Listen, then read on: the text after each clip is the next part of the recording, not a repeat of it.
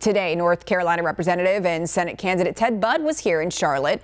WCNC Charlotte's Ben Thompson sat down with him for a one-on-one conversation, and he asked him about that shooting in Raleigh and if he thinks more should be done to keep guns out of people's hands. Our heart breaks for those that in Raleigh, the department uh, that lost an officer, and those that have lost family members. Um, it's just tragic. And most people aren't intrinsically political. But the two things you have to do is one, you have to protect the Second Amendment while at the same time keeping firearms out of the hands of dangerous individuals. Uh, those that are criminal and those that have uh, that are known to be dangerous, uh, perhaps have been mentally adjudicated.